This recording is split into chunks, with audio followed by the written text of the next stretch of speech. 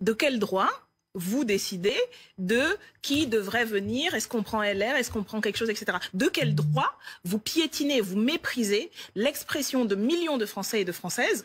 Il y a là un mépris général du vôtre, mais je l'ai entendu aussi euh, sur différents plateaux, euh, y compris euh, du niveau de l'extrême droite, de l'expression des Français et des Françaises qui ont mis en tête le nouveau Front populaire, pas la gauche, le gouvernement, le nouveau Front populaire, et qui attend avec impatience que l'on augmente euh, le SMIC à 1600 euros, euh, que euh, on abroge la réforme des retraites, qu'on mette enfin des moyens pour une politique écologique. Mhm. C'est ça qu'attendent les Français et les Françaises. Et c'est ça que le président de la République, je termine là-dessus, devrait entendre mhm. et cesser de s'entêter dans un coup de force qui déstabilise, qui délégitime les institutions de ce pays et qui fait à l'échelle internationale de nous la risée parce que personne ne comprend qu'il puisse se comporter de Voilà pourquoi il faut une mobilisation et voilà pourquoi nous appelons à la fois sa destitution vous le savez, et une mobilisation. vous le savez, le, pardonnez-moi, mais, vous, vous le savez, le, nœud ça du va régler problème. le problème parce que le nœud du problème, c'est Emmanuel Macron. Le nœud du problème, euh, vous illusionnez si vous pensez que euh, les millions de Français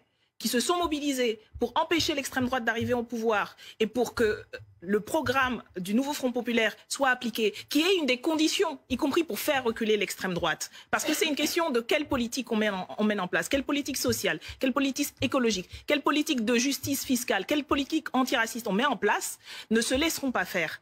Nous, nous ne, enfin, il ne faut pas normaliser ce qui est en train de se passer. c'est-à-dire ça passera quoi par Je pense que les ça, Français et les Françaises euh, se rendent très bien compte de ce qui est en train de se passer et euh, ne supportent pas qu'on les prenne pour des imbéciles. On les a appelés aux urnes et en disant allez voter, pas allez voter pour qu'on empêche la censure de tel ou tel gouvernement, pas allez voter, mais si vous ne votez pas, allez voter pour faire barrage au Rassemblement non, national. allez voter parce que le président en a décidé ainsi et il vous appelle aux urnes. C'est ça qu'on leur a dit. On peut pas changer les règles en disant ah ben maintenant non, c'est pas le résultat de l'élection qui prime, c'est pas la force qui est arrivée en tête qui prime, c'est pas le le, programme de la force qui arrive en tête qui prime, c'est des espèces de combinaisons. Alors on fait censure avant, après, etc. tout cela, tout cela est absolument euh, inacceptable. Écoutons-les les Français parce que, parce que chaque...